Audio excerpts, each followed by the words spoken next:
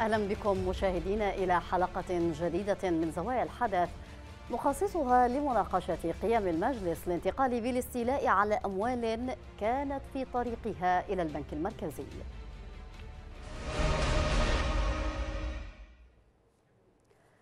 أدان البنك المركزي اليمني قيام قوة تابعة للمجلس الانتقالي المدعوم من الإمارات بالاستيلاء على حاوياته التي كانت في طريقها من الميناء إلى المقر الرئيس في العاصمة المؤقتة عدن. أوضح البنك في بيان بأن القوة قامت بالاستيلاء على الحاويات التي كانت بموجب الاتفاق مع البنك تتولى حمايتها وتأمين انتقالها من الميناء إلى المقر الرئيسي للبنك محذرا من المساس بأي من الموجودات في هذه الحاويات ومحملا مرتكبيها كافة النتائج والانعكاسات الخطيرة المترتبة على ذلك. أما الانتقال فقد برر فعلته عبر بيان أصدرته ما تسمى باللجنة الاقتصادية العليا بالإدارة الذاتية للجنوب بالقول أنه تحفظ على تلك الأموال لأنها طبعت دون غطاء وهو بهذا الفعل أي اختطاف الأموال يصلح مسار عمل البنك ويمنع انهيار العملة. نتوقف مشاهدينا عند هذا الخبر لنناقشه في محورين تبعات قيام المجلس الانتقالي باختطاف أموال البنك المركزي وما الهدف من ممارسات الانتقال لهذه الأفعال المقوضة لهامش الدولة في العاصمة المؤقتة عدن. قبل أن نبدأ النقاش مع ضيوفنا الكرام نذهب لمشاهدة هذا التقرير ومن ثم نعود مرة أخرى يعترض المجلس الانتقالي طريق الرواتب القادمة إلى البنك المركزي ليقوض ما بقي من هامش بسيط للدولة في العاصمة المؤقتة عدن. البنك المركزي اليمني أدان قيام قوة تابعة للمجلس الانتقالي بالاستيلاء على حاوياته التي كانت في طريقها من الميناء إلى المقر الرئيس في العاصمة المؤقتة عدن.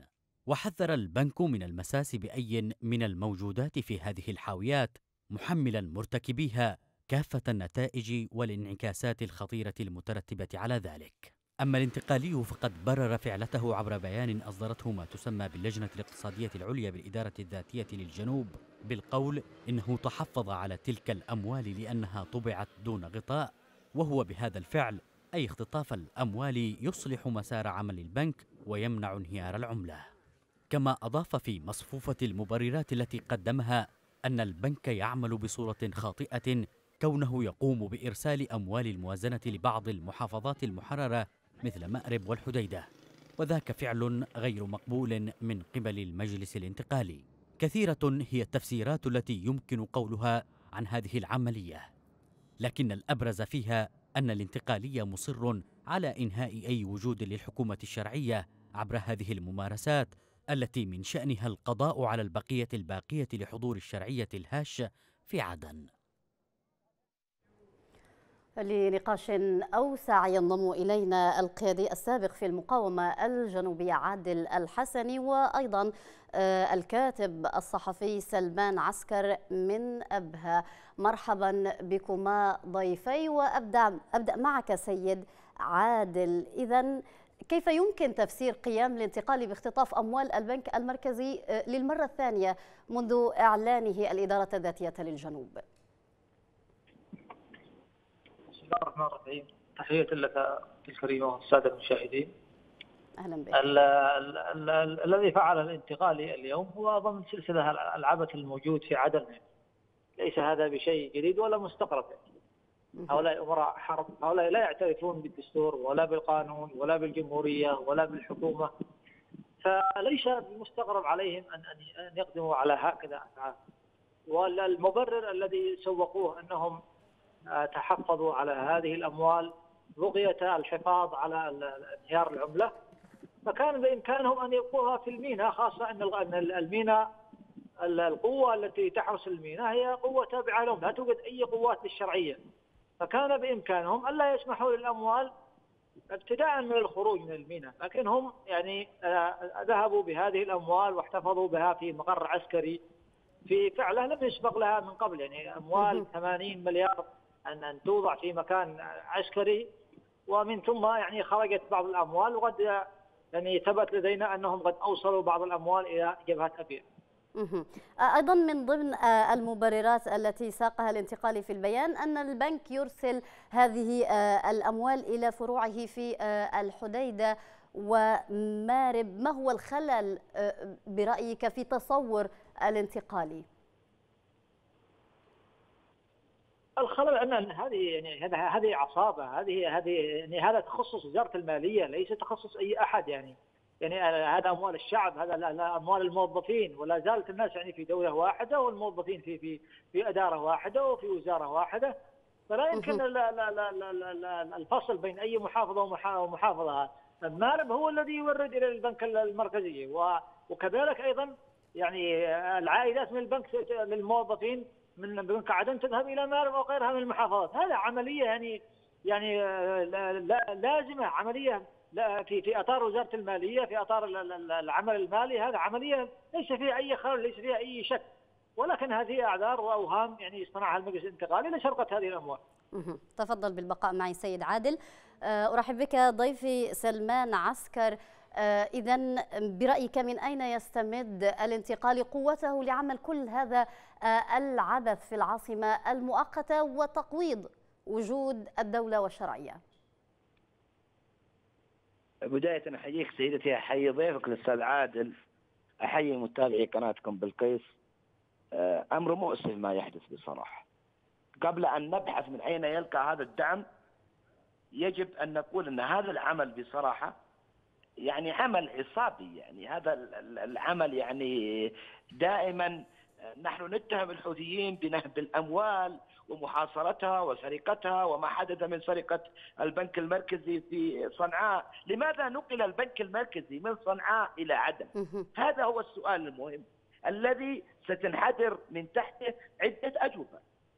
تم نقل البنك المركزي في العام 2016 لسبب رئيسي وهو نهب الحوثيين مكان في هذا البنك والتعامل تحت غطاء البنك المركزي الدولي اليمني مع الدول الأخرى وطباعة الأموال والعبث بالريال اليمني حتى وصل إلى أدنى مستويات. انتقل إلى عدن ليصبح تحت مظلة الحكومة الشرعية. نعم. وأن يكون أكثر أمانا وأكثر سهولة ومرونة في القيام بأعمالهم هام. ما كان بين الأخوة وأنا أسميهم يعني بصراحة إصابات ما حدث. هو نهب ومهاجمة وتسلط على أموال اليمنيين وبهذا الأمر لا نستطيع أن نضع فارقا أو حاجزا بين ما قام به الحوثيين في صنعاء وما كان به بعض العصابات المتمردة في عدن وأنا أقول الآن متمردة لأن كنا نتمنى أن يلتزموا جميعا باتفاق الرياض. هذا ما من شأنه المجلس الانتقالي.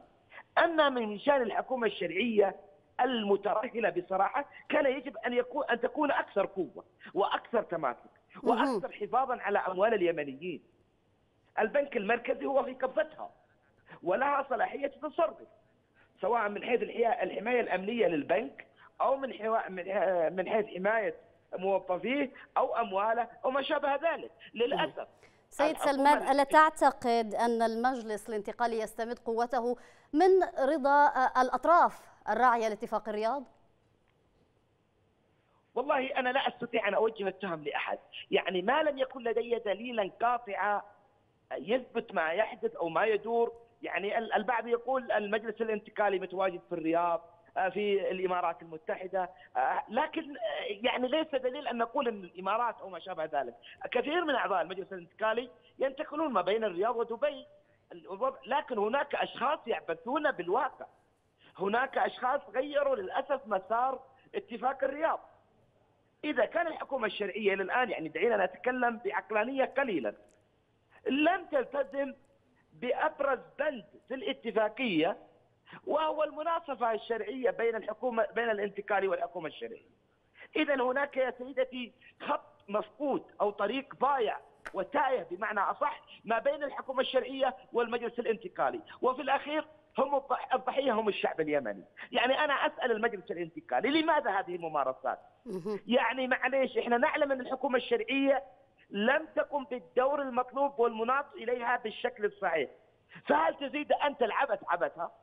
كان يجب وكان من الأحرى بعيدا عن من يدعم هذا المجلس أن أن يكون هناك عقلانية في الأمر أن يكون يعني هل نريد أن نشاهد عدن تائهة ضائعة مثل صنعاء هذا ما لا نريد جميعا لا أنا ولا أنت ولا المشاهدين يعني كان يجب من من هذه من من يدعي حماية أموال هل تعتقد أن عدن آه، لم تته بعد ولم تضع حتى الآن؟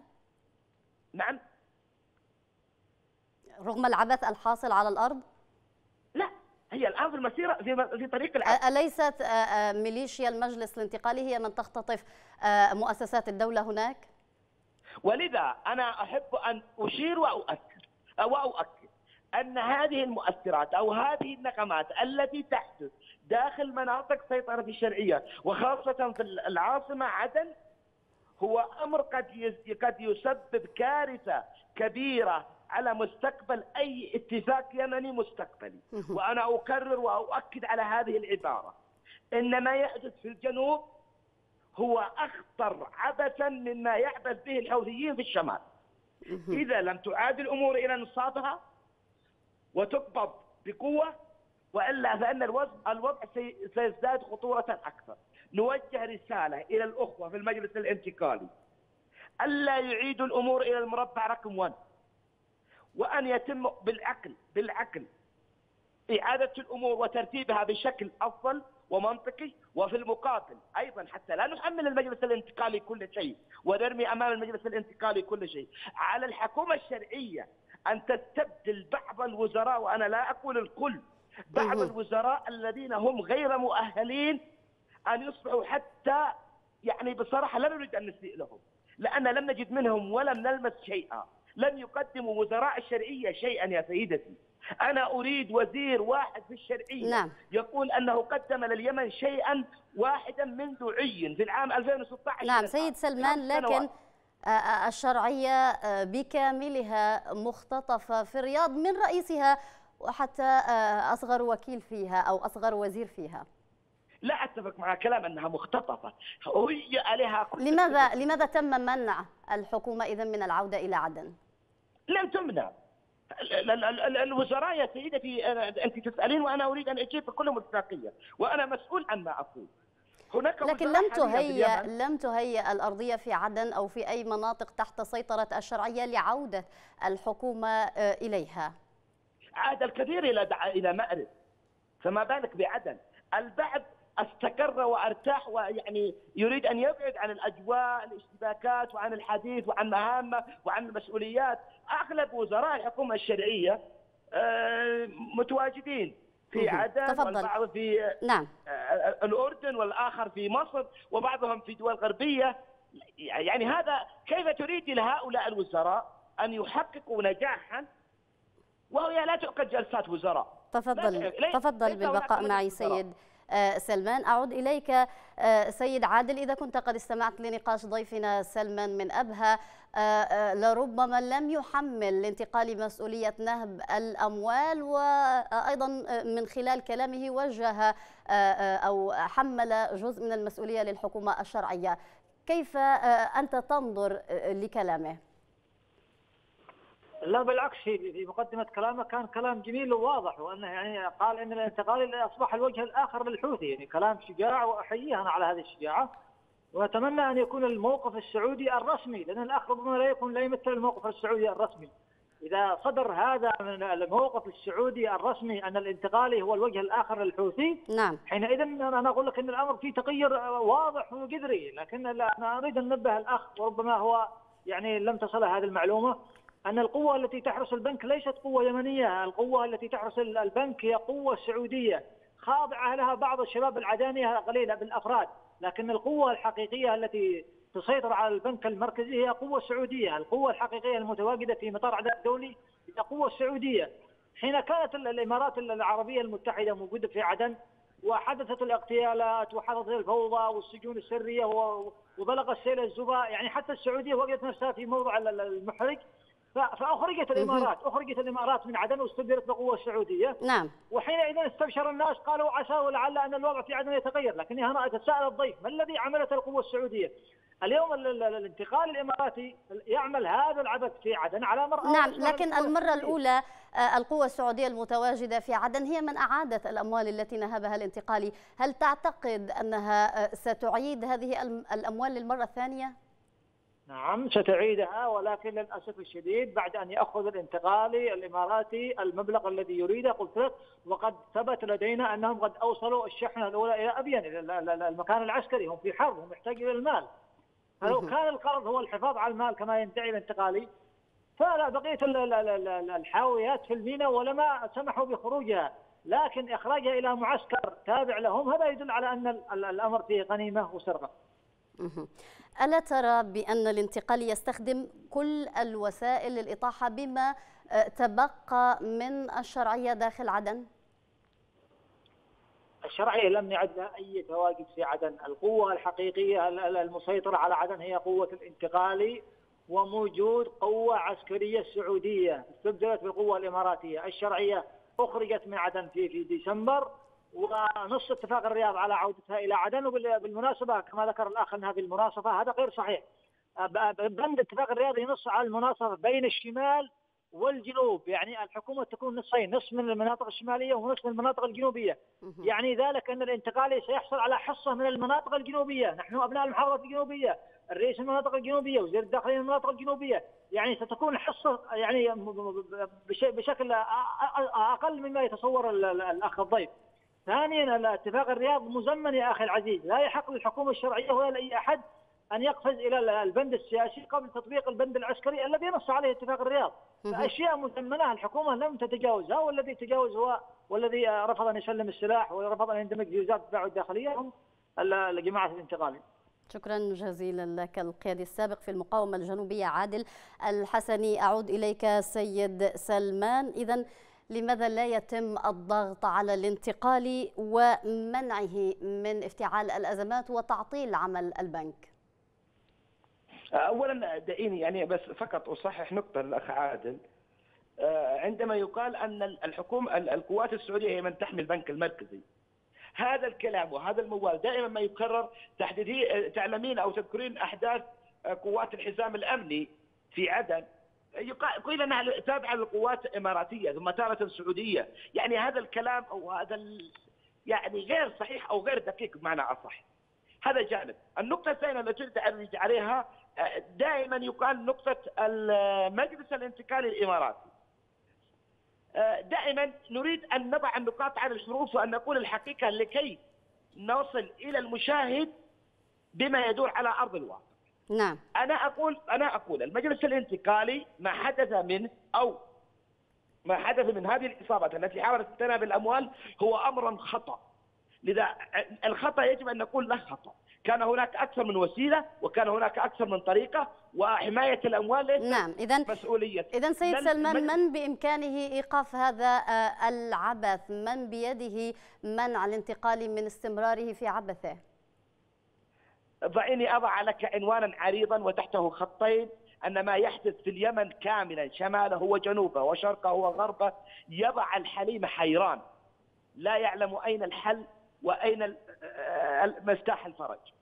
الآن أمام اليمنيين كلهم أنا وأنت وكل جميع عدو مشترك وهو الحوثي. ولذا يجب أن نوجه السهام إليه وأن نحافظ على اللحمة الوطنية بين كافة الأحزاب والشرائح اليمنية ال- الذي يحدث الآن في الجنوب وأنا أكرر إشارة إلى ما تحدثت إليه قبل قليل بأنه مؤشر خطير على أن الأوضاع في اليمن ستتجه إلى الهاوية وحينها لن ينفع لا اتفاقيات ولا لأن إلى الآن الحوثيين هم يبحثون عن مثل هذه نعم. الأحداث والمشاكل ويزرعون مثل هذه الفتن ألا تعتقد سيد سلمان أن هذا الوضع الذي وصلنا له والمحير كما ذكرت هو نتيجة أن التحالف فقد بوصلته في اليمن؟ لا. أنا أذكرك سيدتي وأذكر السادة المشاهدين بأن الأيام القريبة القادمة لن أكذب عليك. الآن عدن تعيش حالة فوضى وأنا لا أريد أن أقول فوضى كبيرة لا. ولكن فوضى بمثل هذه الأحداث يريد البعض أن يضع أن يضع منها أكثر مما يحدث في صنعاء لا أنا أقول لا زالت الأمور في عدن تحت السيطرة. هناك أحداث بسيطة ولكن نتمنى ألا تصل تحت سيطرة من سيد كبيرة. سلمان؟ تفضلي. تحت سيطرة من؟ أنت ذكرت أن الوضع في عدن تحت السيطرة سيطرة من بالضبط؟ سيطرة التحالف. سيطرة التحالف مع نهب نعم. هذه الأموال؟ تحدث مثل هذه الأمور مأرب التي كانت هي القبضة الأولى للتحالف هل نفهم يعني من خلال كلامك أنه سيتم إعادة هذه الأموال آه، إلى البنك المركزي؟ نعم ستعاد وكنا نتمنى أنها لن تنهب بهذه الطريقة أو تسحب بهذه الطريقة اذا من إلى الآن من المستفيد؟ يجب يجب سيدتي يجب إلى الآن أن نضع احتمالا ضمن الاحتمالات بأنه قد يكون هناك سبب لا أعلمه أنا ولا أنت ولا المشاهدين مما جعل هؤلاء يقوموا دعينا نقول بالتحفظ بهذه الأموال. لا نقول نعم عندما يكون هناك سبب صريح. إذا ظهروا بسبب واضح وصريح فقد يكون العذر معهم. إذا لم يظهروا بعذر بسبب واضح وصريح فاسمحي لي أن أقول بأن هذه العملية هي عملية إصابات إرهابي نعم. إذا دعني أشرك معنا في النقاش من العاصمة الأردنية عمان الكاتب والمحلل السياسي عبد الناصر المودع. مرحبا بك معنا سيد عبد الناصر. إذا ما الذي يرمي إليه الانتقالي من آه، آه، اختطاف هذه الأموال؟ وهل للأمر علاقة بالمفاوضة على تصريف هذه الأموال؟ آه، مساء الخير وتحية لك ولضيفك الكريم. يعني هل ما قام به الانتقالي هو تحصيل حاصل لوضع على الأرض. الوضع على الأرض إن الانتقال يسيطر على عدن عسكريا وامنيا وسياسيا أيضا. وبالتالي هو يمارس سلطته ويريد أن يستفيد. الأموال هي في الأخير هي عصب الحياة عصب العمل. وبالتالي سيطرته على الأموال تجعله قادرا على أن يتحكم بعدم يتحكم بالبنك المركزي. وهذا نتيجة الحاله الاهتراء الشامل الذي تشهده هذه المناطق وتحديدا عدن. آه، لأنه آه، لو كان هناك سلطة آه، ما تضبط الأمور وهنا نتحدث عن سلطة التحالف السعودية تحديدا الذي أصبحت هي الدولة المسؤولة عن عدن وعن هذه المناطق. لما وصل الأمر لما وصل إليه لما تمادى الانتقالي وأعلن الإدارة الانتقالية لأنه تحدى في بذلك. آه، الشرعية تحدى أيضا أهداف التحالف التي آه، يقول بأنه أتى لليمن من أجلها. وما حدث اليوم هو تحصيل حاصل وأمر طبيعي يعني. كان من غير الطبيعي ان أن لا يحدث مثل هذا. نعم. آه ربما الآن الانتقالي يساوم من خلال حجزه هذه الأموال. يساوم بأن يأخذ آه، حصة كبيرة من هذه الأموال. هم يشكون بأنهم آه لم يعودوا يستلموا رواتب من الإمارات. وبالتالي هم يريدوا أن يفرضوا أمر واقع وأن يستولوا على هذه الأموال. لكن حصيلة هذا الأمر معناها أنه ليس هناك من سلطة حقيقية سلطة شرعية تسيطر على أهم عصب من عصب آه، الدولة وهو البنك المركزي والأموال عندما تبقى الأموال تحت سيطرة الجهة غير شرعية في هذه الحاله تصبح الشرعية هي تابع نعم. لهذه الجهة وليست هي المتحكمة بالأمر آه، آه، سيد آه، عبد الناصر إذا من ضمن مصفوفة المبررات التي ساقها بيان الانتقالي هو أن البنك يقوم بإرسال أموال إلى مارب والحديدة ما منطقية هذا المبرر برأيك؟ طبعا من الناحية القانونية والشرعية الانتقالي هو كيان غاصب للسلطة لا يمتلك أي شرعية وبالتالي ليس هو لص في الأخير يعني العمل الذي قام به عمل من أعمال اللصوصية وبالتالي لا نحاسب اللص لماذا قام بهذا العمل نحاسب الطرف الثاني الذي سمح له بأن يمارس هذا الأمر نعم. الذي سمح بإبقاء البنك المركزي مفتوح وتحت رحمة هؤلاء هؤلاء هم يقولون أن هذه الأموال ستذهب إلى الحديدة أو تذهب إلى مارب هو مش مسؤوليتهم وليس من اختصاصهم وليس من حقهم ان أين تذهب هذه الأموال؟ في نعم. الأول والأخير هذه أموال الشعب اليمني من اقصاه إلى اقصاه، آه ليس من حق كيان ما آه أن يطالب وأن يحجز أموال ويقول حجزها لأن هذه الأموال ستذهب لهذا الطرف أو ذاك، هذا نعم. ليس من حقه، هو من حقه كمواطنين من حقهم أن ينتقدوا فساد أو ينتقدوا سوء تصرف لهذه الأموال لكن هذه أعمال من أعمال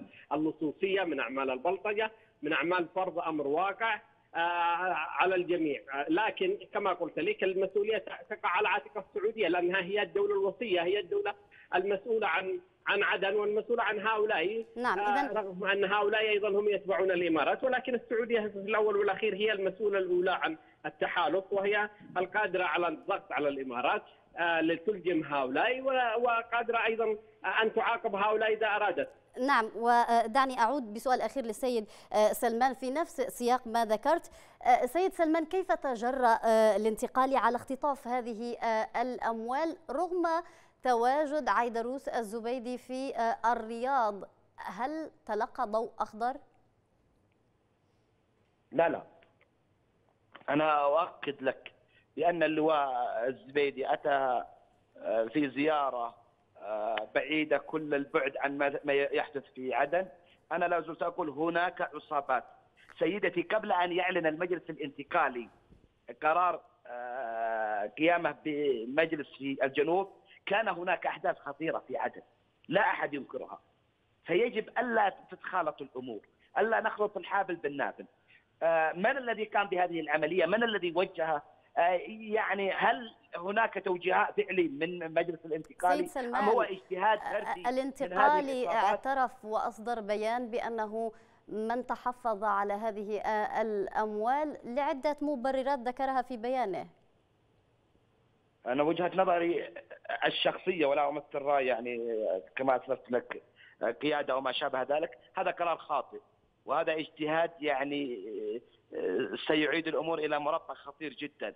هل المجلس الانتقالي يمنع وصول هذه الأموال كما قال ضيفك العزيز من الأردن إلى مارب وإلى الحديدة وإلى غيرها؟ يا سيدتي هذا اليمن بلد واحد. كان الأول الانتغاض والغضب في الجنوب وفي بعض المحافظات أن البنك المركزي تحت سيطرة الحوثيين وأن الأموال ينهبونها ويعبثون بها ويتوزعونها فيما بينهم. لذا تم القرار إرسال البنك أو تحويلها إلى عدن فهل يتعاملوا بالمثل؟ مع باقي الشمال ما ما ذنب الاخرين من استلام مرتباتهم أو إرسال موارد إليهم. هذا القرار خاطئ وسيعيدنا إلى مربع العنصرية. بالأمس يا سيدتي نحن غضبانون شكرا. من قرار الخمس سيد سلمان الخمس. أعتذر عن مقاطعتك لضيق وقت هذه الحلقة. سلمان عسكر الكاتب الصحفي كنت معي من أبها. أعود إليك سيد عبد الناصر بسؤال أخير. ماذا بقي للشرعيه من وسائل وإمكانات قوة حتى تفاوض بها مع الانتقاليين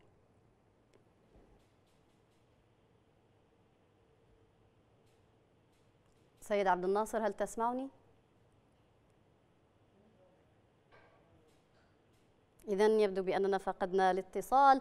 أعتذر مشاهدينا عن هذا الخلل وأشكر ضيوفي في ختام هذه الحلقة. الكاتب الصحفي سلمان عسكر كان معنا من أبها والقيادي السابق في المقاومة الجنوبية عادل الحسني وأيضا كان معنا من العاصمة الأردنية عمان الكاتب والمحلل السياسي عبد الناصر المودع. شكرا لكم مشاهدينا على حسن المتابعة. تحياتي وتحيات معيد هذه الحلقة ماهر أبو المجد كما هي لكم من الزملاء في الكنترول. إلى اللقاء.